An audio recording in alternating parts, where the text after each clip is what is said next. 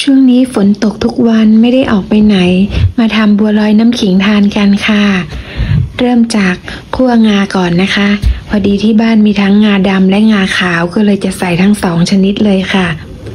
คั่วไฟอ่อนๆนะคะ พอคั่วงาสุกก็พักให้เย็น แล้วเราก็นำมาตำค่ะ เพราะจะได้น้ำมันหอมจากงามากกว่าวิธีการปั่นนะคะ จากนั้นเราก็นำไป ผัดกับเนยขาว น้ำตาลมะพร้าวและเกลือป่นนิดหน่อย คนจนเข้ากันดีนะคะ จากนั้นเราก็ปิดเตาตักใส่ถ้วยพักไว้ให้เย็น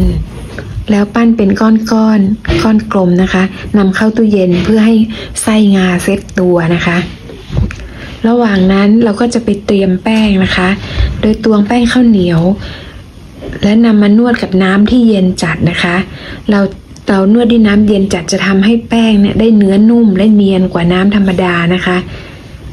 นำมาปั้นเป็นก้อนๆ แล้วก็นำไส้ที่เราแช่เย็นไว้นะคะ เอามา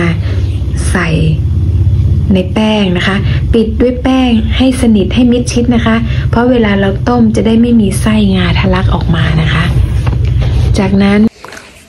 พอปั้นแป้งและไส้จนครบนะคะ เราก็จะนำไปแช่ตู้เย็นอีกประมาณหนึ่งชั่วโมง เพื่อให้แป้งและไส้เซตตัวดีๆนะคะ ระหว่างนี้เราก็จะมาเตรียมทำน้ำขิงกันค่ะ โดยนำขิงแก่ล้างให้สะอาด ไม่ต้องปอกเปลือกนะคะ หั่นเป็นชิ้นโตๆ จากนั้นก็ทุบให้ขิงแตก แบบนี้เลยนะคะ เราจะได้น้ำมันขิงหอมๆออกมานะคะ แล้วก็เตรียมน้ำ ต้มน้ำสะอาด 2 ลิตร น้ำเริ่มเดือดก็ให้ใส่ขิงที่ทุบไว้ลงไป ต้มจนเดือดอีกประมาณ 10 นาทีนะคะ จากนั้นก็เติมน้ำตาลทรายแดง และก็เติมน้ำอ้อยเป็นก้อนลงไปนะคะ เพื่อให้สีสันสวยงามนะคะ รอจนน้ำตาลละลายดี แล้วก็ยกลงจากเตาพักไว้ให้อุ่นนะคะ ระหว่างนี้ก็จะไปเตรียมทำบัวลอยกันค่ะ ต้มน้ำสะอาดทำให้น้ำเดือดก่อนนะคะ พอน้ำเดือด ได้ที่แล้วก็หลีไฟลงนะคะ แล้วก็เริ่มใส่ก้อนบัวลอยลงไป รอจนบัวลอยเขาลอยตัวขึ้นมานะคะ แสดงว่าแป้งสุกแล้วนะคะ ก็ตักใส่น้ำเย็นเพื่อให้แป้งเซตตัวอีกรอบหนึ่งจากนั้นเราก็เตรียมตัวเลยค่ะ เตรียมถ้วยมาตักน้ำขิงตักบัวลอย ใส่ถ้วยเสิร์ฟร้อนๆกันค่ะ อร่อยและดีต่อสุขภาพนะคะ เพื่อนๆมาทำทานกันได้นะคะ ง่ายๆเลย ลืมบอกไปว่าทำไปสูตรเนี้ยเหลือเยอะนะคะ ก็สามารถเก็บใส่ช่องฟรีดไว้ หิวเมื่อไหร่ก็นำมาอุ่นทานได้ทุกเวลาค่ะ ขอบคุณค่ะ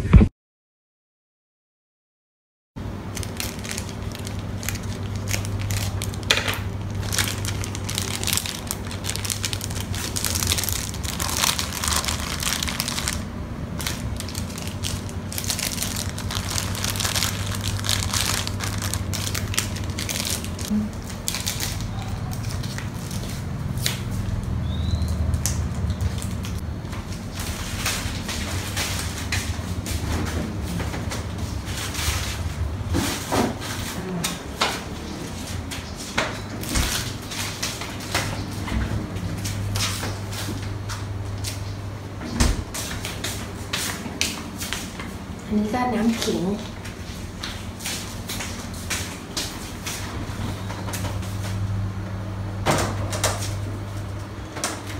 เวลาจะทานก็หยิบจากช่องฟรีซมาทิ้งไว้ที่อุณหภูมิห้องก่อนนะคะ แล้วก็เอาตัวของบัวลอยนะคะเข้าไมโครเวฟนะคะ แล้วก็น้ำขิงก็เอาเข้าไมโครเวฟเหมือนกัน อุ่นร้อนๆทานได้เลยค่ะ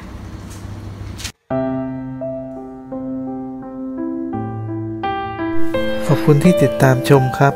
ช่วยกดไลค์ กดแชร์ กดติดตาม และกดกระดิ่ง เพื่อเป็นกำลังใจให้กับช่องเราด้วยนะครับ ขอบคุณครับ